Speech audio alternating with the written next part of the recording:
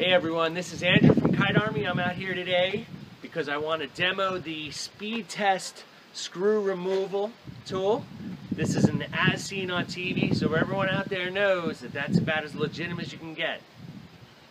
But anyway, uh, that being said, you know something, maybe they have something good here, so I'm going to try it out. Uh, basically what I've got is I've got a block of wood with a screw in it that has been stripped out and I can't remove that with the bit anymore that I've got in my screwdriver here so I'm going to give this a try.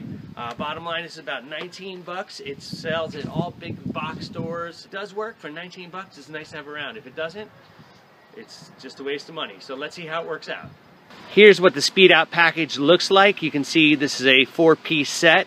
Each of the sizes uh, are there for different size screws. You can see it works with any screw or bolt. So let's put that to the test and 10 seconds or less. That's pretty fast. Uh, bottom line, here's the instructions. You put your drill in reverse and you first drill it out. Then you switch the bit around and you extract. That should be under 10 seconds. And of course, again, as seen on TV, so we know it's gonna happen just like that. Okay, I've got the bit installed in my screwdriver, my electric driver here. You can see I've got the bit that actually drills it out, and I've got my driver in reverse. So, there goes that. That made a nice little hole in there. I don't know how far you're supposed to go.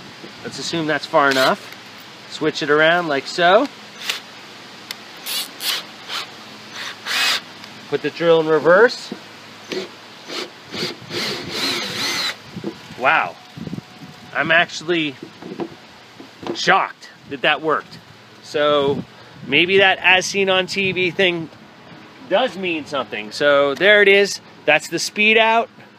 Um, you saw that for yourself. That's the first time I've ever used it. It sort of did amazing magic. So I'd have to say, as seen on Kite Army, should be right there.